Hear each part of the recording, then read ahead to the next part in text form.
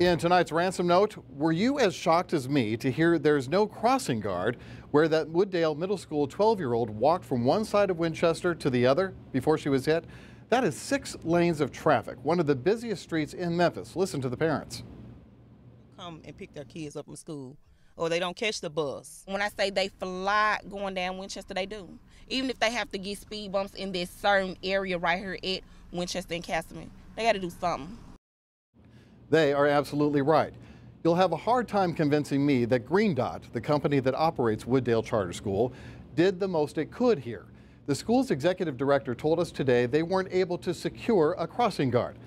Yeah, that answer just isn't good enough. We counted. While we still don't know her name, we do know that poor seventh grade girl, with her whole life ahead of her, walked just one block past exactly nine houses before she got to Winchester. There's no doubt in my mind that intersection is the school's responsibility to keep it safe. Had there been a crossing guard at Winchester and Castleman yesterday afternoon, that little girl's family would probably not be planning a funeral tonight. There is no excuse, and the school needs to fix this problem now. Join the conversation by email or my Facebook and Twitter pages.